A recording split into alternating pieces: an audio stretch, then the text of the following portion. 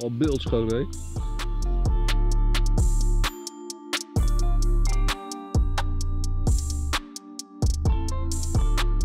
Hier is hij dan. Juist, de spiegel die we juist gevangen hebben gehad.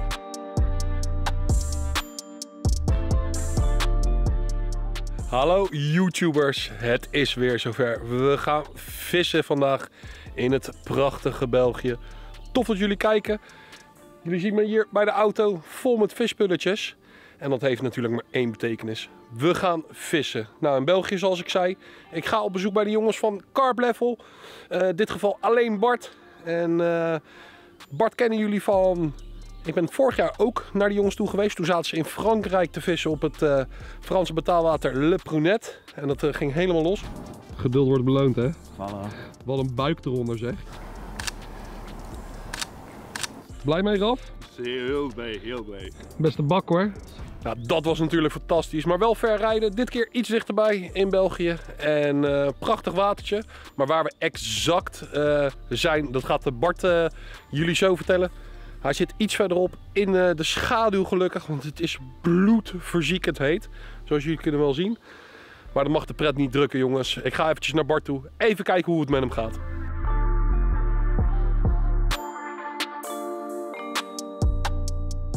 Kijk, de hengeltjes staan hier. En wie hebben we daar? Hey Robin, allemaal Bart, goed? hoe is het? Allemaal goed, allemaal goed. Ja, dat we een tijdje geleden al elkaar gezien hebben. Hè? Van september vorig jaar, als ik me niet vergis. Ik zat net al aan de kijkers te vertellen dat we eh, vorig jaar in eh, Frankrijk waren op eh, La Prunet of Le Prunet. Lekker, hè? En dat ging aardig te keren, hè? Toen mochten we zeker niet klagen mee, mee de week die we gehad hebben met de groep, nee. Nee, hè? dat was fantastisch.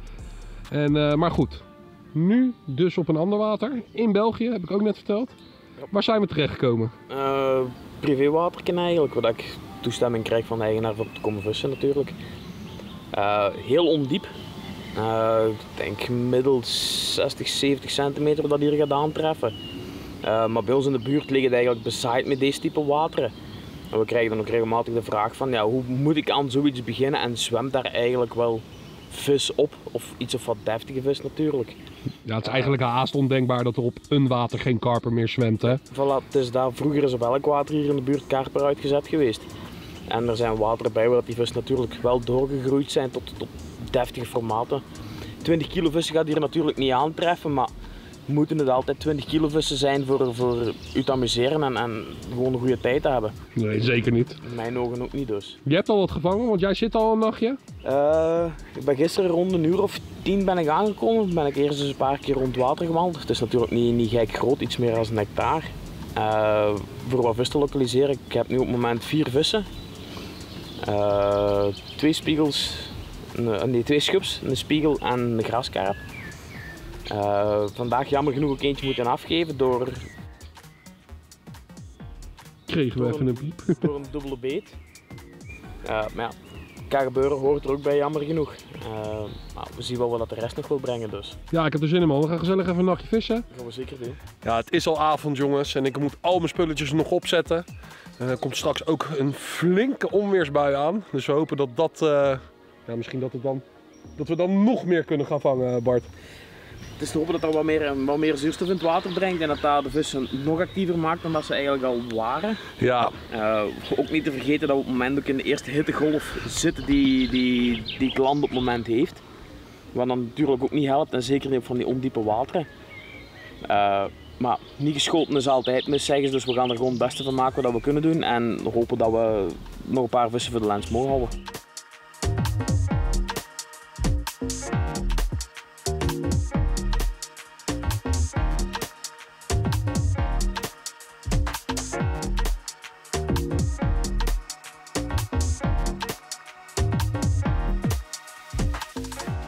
Zo, nou jongens, zoals jullie zagen, echt wel, echt wel heel leuk watertje. Klein, maar eh, genoeg vis erop. Er liggen nog twee watertjes hierachter. En eh, daar zag ik ze zwemmen. Wat is nou het nadeel van het water? Het ligt helemaal vol met wier, maar je kan wel rondom lopen. Dus wat ga ik nu doen? Ik heb een emmertje voer gemaakt. En dan ga ik even onder de kant wat plekjes aanvoeren en kijken of we stalkend een vis kunnen vangen. Dus eh, ik neem jullie mee. Let's go.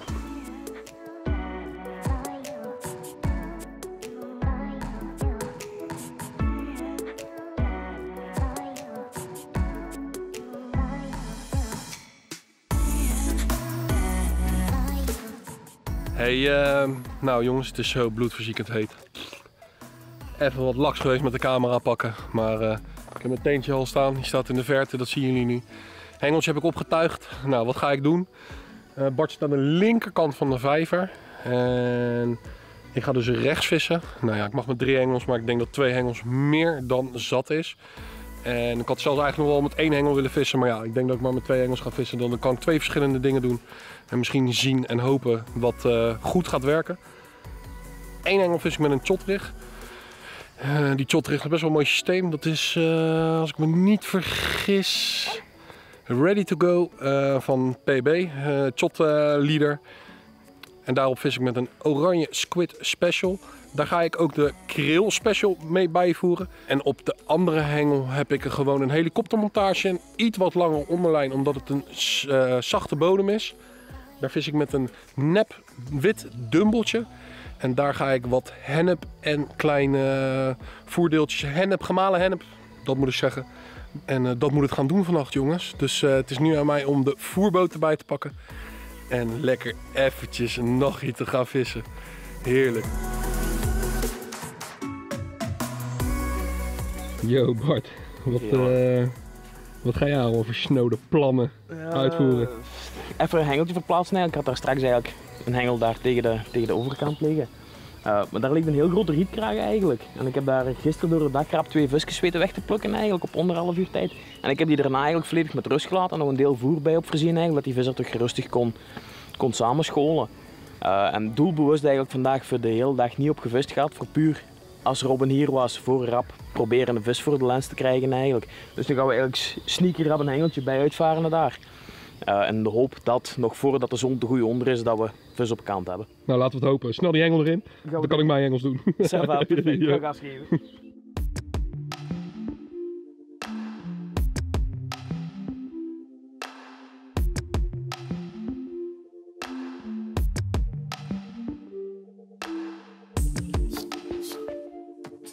Zo, hengeltje ligt weer Bart. Ja, nu even rap positioneren eigenlijk op steunen.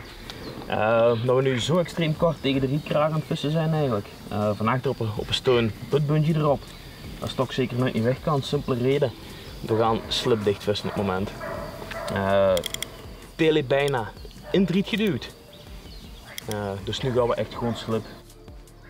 Ja, het is belangrijk dat je dan bij die obstakels... eh, Dat hij daar geen, we gaan een beetje slappe draad geven eigenlijk, dat er toch een beetje spel op zit en dat wij een iets of wat betere registratie kunnen krijgen. Ja, maar dat mag wel, hè? Eh, dat mag. Dus ten eerste ook aan vooral aan de shot we aan het vissen zijn. Ja. De afstand is niet extreem groot. Dus we moeten er sowieso altijd zorgen dat die eerste meter sowieso altijd mooi plat op de grond liggen. Eh, en voor de rest is gewoon zorgen dat nu de slip dicht staat. En wachten totdat er een vis aan de andere kant hangt. We gaan het meemaken.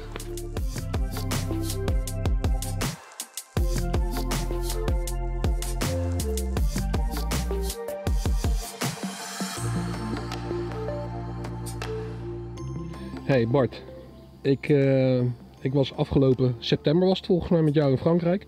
En toen zei jij, ik wissel om zoveel tijd van aas. Omdat ik dan en aan mijn klanten kan vertellen eh, wat welk aas goed is. En dat vond ik op zich wel heel sterk, want jij vist gewoon met allerlei soorten merken. Dus er bestaat niet één wonderbol, maar er zijn gewoon meerdere goede aassoortjes. Maar dan zag ik dat je overgestapt was. Ja, deze keer ben ik mee, mee de citrus van het vissen eigenlijk. Ik ben daar deze winter mee begonnen, de eerste keer hier ook trouwens. Eh, en toen had ik daar direct eigenlijk een, een redelijke goede sessie op eigenlijk, terwijl het pas ontdooid was en dat de, de, de. En ik dacht, voor wat niet, daar toen zo'n goede resultaten op gehaald. Ik zeg, pak gewoon terug dezelfde bolly mee. Eh, ik heb een mix bij eigenlijk van 12 mm en 15 mm. Omdat het voordeel is dat er geen, geen, geen zit, kunnen we extreem klein gaan en daar nog wat 2 en 6 mm pelletjes tussendoor. Wat camp, tijgernootjes, crush tigernuts, noem maar op. Eigenlijk gewoon een smikkelmixje gemaakt eigenlijk voor zoveel mogelijk attractie te krijgen, vermits dat de witvis gerelateerde dingen ons gerust laten. Nou ja, eh, sterk. En goede vangst al opgeboekt. Eh, ik mag daar zeker niet op klagen. Ik ben, elke keer dat ik de citrussen gebruikt heb, heb ik daar toch succes mee geboekt gehad en heb ik toch altijd mijn vissen weten te vangen. Ja, ik vind naast de, de KWO specials, vind ik Nash toch stiekem ook wel heel goed aasje. dus, eh, dat gezegd hebben, ik ga mijn hengels gauw uitvaren jongens, want het is tijd voor vis.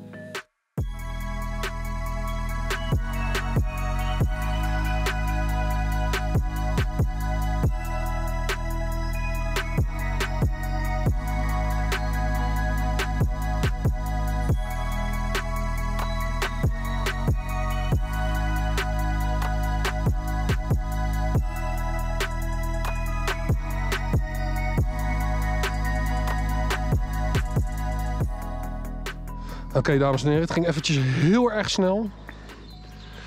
Maar eh, mijn hengel liep af, joh. Dus dat is natuurlijk fantastisch. Nog eventjes zo vroeg op de avond. Net voordat Nederland gaat beginnen. In het mandje.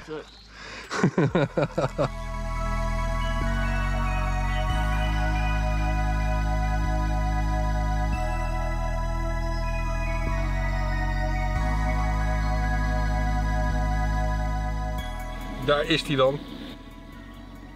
Een heel klein, mooi druktemakertje. Lijkt een beetje Marco Nap. Hij is beeld, beeldschoon. Eh, deze vis heeft Bart zelf uitgezet, halfjaartje geleden, Zoiets ongeveer. op 2,7 kilo. En hij is nu na de paai 3,2 kilo. Dat is natuurlijk fantastisch. Ik vind hem heel mooi, maar ik wil ze wel wat groter vangen. Dus eh, we gaan deze lekker terugzetten. En dan beloof wat voor van, eh, vannacht, eh, Bart. Het is te hopen dat er nog enkele mogen volgen en liefst wat groter natuurlijk. Ik heb zo'n flauw vermoeden dat het wel goed gaat. Kleine visjes groeien ook dus. Ja, we gaan ze terugzetten. Yes. Probeerde daar de bal weg te tikken in de hoop dat Weghorst of de Jong er iets mee zou kunnen gaan uitvoeren. Nederland wordt opgesloten door Oostenrijk. Hinteregger met een schot.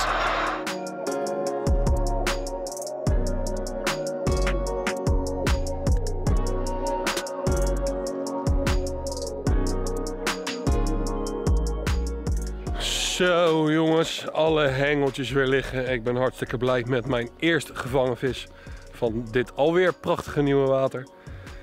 Maar ja, Bart, het is wel de bedoeling dat jij vis gaat vangen voor film, hè? Het is, het is u ook gegund voor vis te vangen, dus we, zullen wel, we zullen wel zien. Toch wel lief. Ja, Belgen zijn eh, toch al, wat dat betreft wel heel erg aardig gasvrij en relaxed. We Dus hebben eh, nog heel de nacht dan nog een stuk van morgen, dus ik panikeer nog niet direct. nee, inderdaad. En wat zei je net? Laat jij de knolletjes maar vangen, Robin. Dan vang ik de grote wel. Voilà. Oké, top. nou jongens, het is eh, nu een uurtje of tien. Ik ga zo lekker mijn mandje in. Want eh, we hebben morgen een drukke dag voor de boeg. Morgen moeten we waarschijnlijk een vis of 4 of 5 gaan filmen en fotograferen. Dan gaan we toch proberen we dat nog klaar te krijgen, dus. Ja, gaat wel lukken toch? Maar. We gaan er nog wel een paar bij vangen. Maar voor nu sluiten we de avond af jongens. Tot morgenochtend.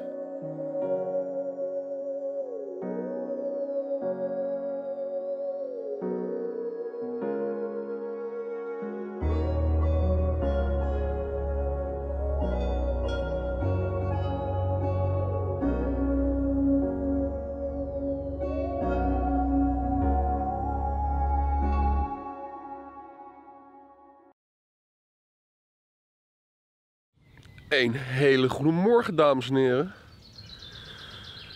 Ja, als jullie hier kijken, twee hengels ondersteunen. Maar niet de vissen waarop je zit te wachten. Ik werd vannacht geteisterd door zilt.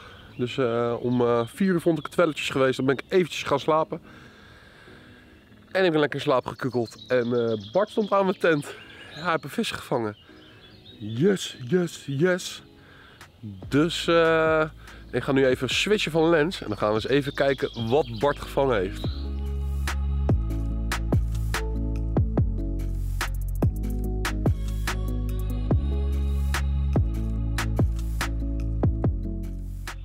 Zo Bart. Lekker man. Ja, toch iets, iets groter dan dat we verwacht hadden eigenlijk. Eh 7 kilo 600. Eh, maar puntgaaf schupje. Alleen moest hij hier één klein schupje. Maar voor de rest kun je op dat visje niks, niks aanmerken. Oh, beeldschoon hè. Is die mooi. Kijk eens aan jongens. Prachtig schubje. We hebben hem opgevangen? Uh, shoddy. Met 12 mm citrus pop-upje.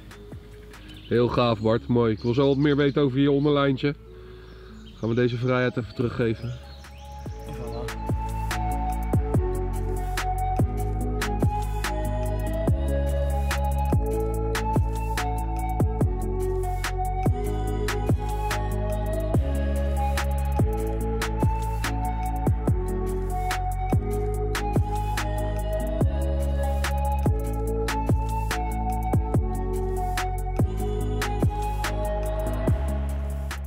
Uh, we nog gezegd dat we eigenlijk nog het systeem eigenlijk zouden laten zien wat ik mee aan het vissen ben eigenlijk hier al de afgelopen dagen eigenlijk. Uh, lead core leader eigenlijk. Ongeveer een metertje. Heel safe op gemonteerd eigenlijk, dat we het lood kunnen droppen in de situatie dat we het nodig hebben eigenlijk. Omdat we ook dikwijls wel kort tegen rietkragen aan aan het vissen zijn, tussen pompenblaren. Is het altijd fijn dat we het lood kunnen kwijtspelen. Het lood zelf is een 2,5 ons loodje, 71 gram. Uh, met daarop een kort shot onderlijntje. Uh, no trace systeem van Korda eigenlijk. We moesten toch de pech hebben dat uh, we vis moesten of, of, een lijnbreuk krijgen. Dat de vis eigenlijk alles kan droppen. en dat hij enkel en alleen met het shot onderlijntje nog blijft zitten. zelf heb ik geopteerd voor het, het, korte onderlijntje te nemen eigenlijk. haakmaatje 6. Voor wat het is hier al niet gek diep en dan wil ik natuurlijk ook niet hebben een pop-up daar 6, 7 centimeter van de grond af staat. Gewoon laag dicht tegen de grond, zo subtiel mogelijk eigenlijk. Uh, voor wat heb ik ook voor de shot geopteerd. Het is een redelijke modderige bodem. Uh, en door de kralen eigenlijk te gaan schuiven op de leadcar kan ik mijn eigen speling een marge geven eigenlijk voor de shot wat meer vrij spel te geven. Moest het lood wegzakken in de bodem, moesten er toch nog afgestorven blaren van, van het riet op het boom liggen eigenlijk, dat de shot zijn eigen daar mooi op kan presenteren en dat de leadcar eigenlijk gewoon over de vuiligheid kan gaan liggen.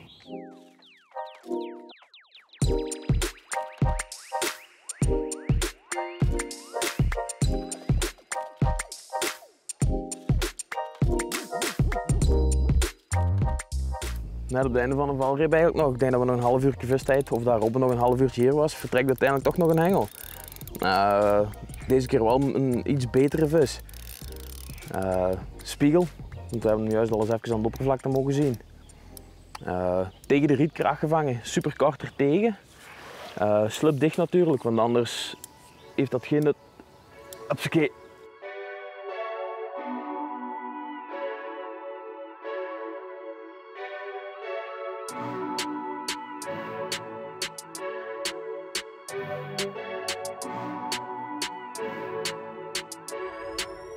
Hier is hij dan, juist de spiegel die we juist gevangen hebben gehad. Uh, 7 kilo 800, we hem eigenlijk iets groter geschat. Maar wie maalt erom als je de vis in je handen mocht houden. Maar zo grap nog even de andere kant ook laten zien. Uh, weer op shotje gevangen op het systeem dat we de ruis ook allemaal besproken hebben gehad. Uh, we gaan de vis met dat warme weer nu niet te lang op de kant houden, want dat vinden we natuurlijk allemaal niet tof. En het is de bedoeling dat de vis in dezelfde staat teruggaat als dat we hem gevangen hebben.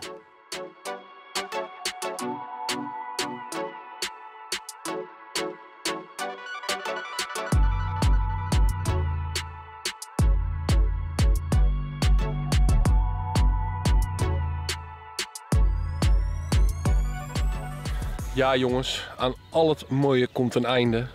En ook aan deze sessie. Ik heb net nog even geprobeerd stalkend vis te vangen. Het is me helaas niet gelukt. Wellicht nog een keertje een cursus bij Hofman uh, volgen. Maar uh, Bart, het zit erop. Is tijd voor richting huis te gaan. Lekker weekend vieren. Morgen nog werken eerst en dan weekend vieren. Ja, in de winkel natuurlijk. Ja, voilà. Waar zit de winkel? Uh, Zolder in België. Uh, Beringer Steenweg 108. Uh, kom altijd gewoon langs als je wat tips en tricks nodig hebt voor een praatje te maken. Voor... Het, het maakt niet uit waar. Gewoon even langskomen. Ik blijf het altijd zeggen. Uh, je hebt heel veel mensen die dan online op social media vragen van... joh, uh, wat vinden jullie van deze hengels? Wat vinden jullie van dit materiaal? Wat vinden jullie van dat materiaal? En dan krijg je altijd honderdduizenden antwoorden. Jongens, het beste advies is... Is gewoon naar de winkel gaan, het materiaal zelf vastpakken. En dan kun je tenminste vergelijking maken tussen voorbeeld van hengels nemen een 2,75, een 3, een 3 en een kwart, dan voel je tenminste waar wel het verschil in zit. Ja, en er zit ook gewoon verschil in. Dus je, ja, En dan kun je beter je, je materiaal afstemmen op welke visserij je op die moment zelf nodig hebt. en dat is het allerbelangrijkste. Voilà. Zo Daar ga je uiteindelijk meer vis op. Ja, en zo is het maar net. Nou Bart, mag ik je hartstikke bedanken voor de gastvrijheid. Het was super Dat gezellig. is weer graag gedaan en hopelijk tot snel. Ja, eh, zeker. Ik heb er helemaal zin in in de volgende keer. Dus eh, ja, tot dan. Jongens, jullie bedankt voor het kijken en tot de volgende video. Volgende. Doei!